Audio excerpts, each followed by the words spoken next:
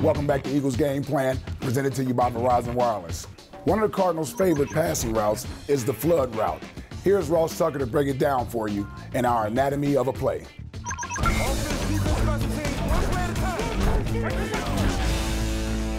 Okay, guys, let's take a look at a three-man passing game concept called flood. Also, some people call it three-level stretch. The Eagles actually run this quite a bit.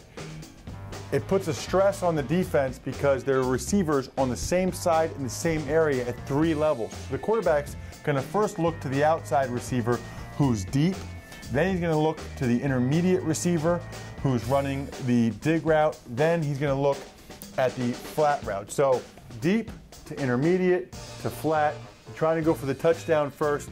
You can't get that, then you go to the next. Then worst case scenario, you throw it to the flat, you still get some yardage there. But tough for the defense because you've got guys at three different levels. There's almost no defensive coverage where there's a defender at three different levels. So somebody at some point has got to be open on the flood concept.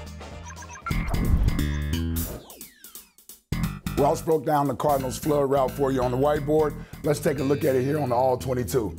Now, what Carson Palmer wants to do is he want to take a look at these two safeties back here versus these three wide receivers here. What you're going to get is a go route from Michael Floyd.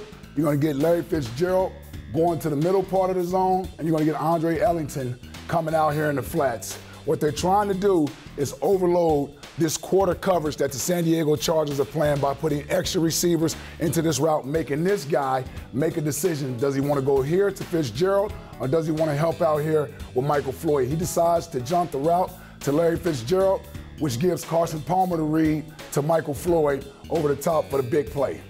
The Cardinals love the big play down the field. And when they're looking for it, they're going to run this concept route, the flood route.